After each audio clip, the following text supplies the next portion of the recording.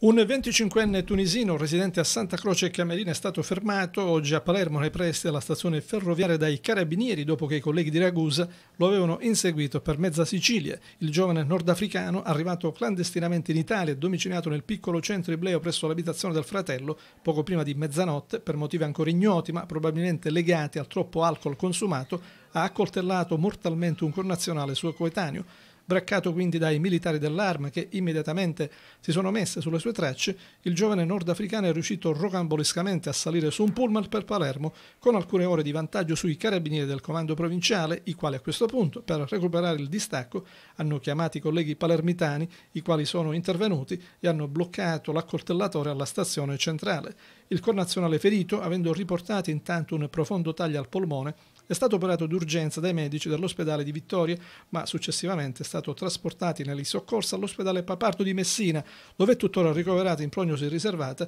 presso un reparto specializzato in chirurgia toracica.